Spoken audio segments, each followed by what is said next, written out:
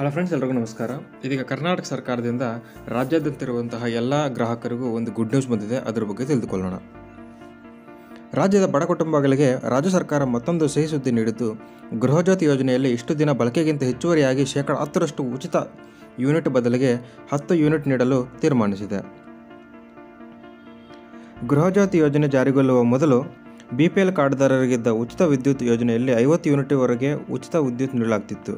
ಗೃಹಜ್ಯೋತಿ ಯೋಜನೆಯಲ್ಲಿ ವಾರ್ಷಿಕ ಬಳಕೆಗೆ ಹೆಚ್ಚುವರಿಯಾಗಿ ಶೇಕಡ ಹತ್ತರಷ್ಟು ಯೂನಿಟ್ ನೀಡುವ ತೀರ್ಮಾನಕ್ಕೆ ಬರಲಾಗಿತ್ತು.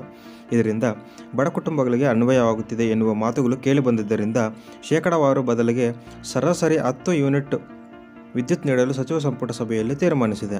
ಸಚಿವ ಸಂಪುಟ ಸಭೆ ಬಳಿಕ ಸುದ್ದಿಗೋಷ್ಠಿಯಲ್ಲಿ ಮಾತನಾಡಿದ ಸಚಿವ ಎಚ್ ಕೆ ಪಾಟೀಲ್, ರಾಜ್ಯದಲ್ಲಿ ಒಂದು ಪಾಯಿಂಟ್ ಒಂಬತ್ತು ಐದು ಕೋಟಿ ಗೃಹ ಬಳಕೆ ಗ್ರಾಹಕರು ಸರಾಸರಿ ಐವತ್ತ್ಮೂರು ಯೂನಿಟ್ ಬಳಕೆ ಮಾಡ್ತಾರೆ. ಗ್ರಾಹಕರ ಯೂನಿಟ್ಗಳ ಬಳಕೆಯ ಹಿನ್ನೆಲೆಯಲ್ಲಿ ಅರ್ಹತಾ ಯೂನಿಟ್ಗಳು ಒಟ್ಟು ಐವತ್ತೆಂಟು ಯೂನಿಟ್ಗಳಾಗಿರುತ್ತದೆ. ಮೂವತ್ತು ಯೂನಿಟ್ಗಳನ್ನು ಬಳಸುವ ಬಡ ಕುಟುಂಬಗಳಿಗೆ ಅರ್ಹತಾ ಯೂನಿಟ್ಗಳು ಕೇವಲ ಮೂವತ್ತ್ಮೂರು ಯೂನಿಟ್ಗಳಾಗಿರುತ್ತವೆ.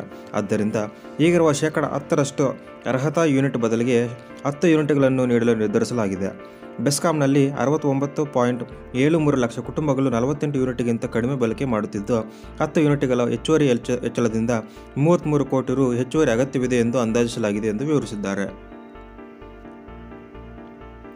ನಾನು ನಿಮಗೆ ಸ್ಕ್ರೀನ್ ಮೇಲೆ ತೋರ್ತಾ ಇದ್ದಲ್ಲ ಇದು ರಾಜ್ಯ ಸರ್ಕಾರದಿಂದ ಅಧಿಕೃತವಾಗಿ ಪ್ರಕಟಣೆಯಾಗಿರುವಂತಹ ಪ್ರಕಟಣೆ.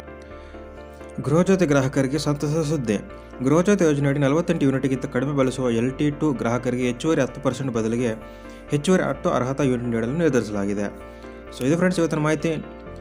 ನಿಮ್ಗೆ ವಿಡಿಯೋ ಇಷ್ಟ ಆಗಿದೆ ಅನ್ಕೊಂತೀನಿ. ಇದೇ ರೀತಿ ಸರ್ಕಾರದಿಂದ ಬರುವಂಥ ಹೆಚ್ಚಿನ ವಿಡಿಯೋಗಳಿಗಾಗಿ ನಮ್ಮ ಚಾನಲ್ಗೆ ಸಬ್ಸ್ಕ್ರೈಬ್ ಮಾಡ್ಕೊಳ್ಳ್ರಿ ಮತ್ತು ವಿಡಿಯೋ ಇಷ್ಟ ಮಾಡಬೇಕಾಗಿ ಎಲ್ಲರಿಗೂ ಧನ್ಯವಾದಗಳು. ಶುಭ ದಿನ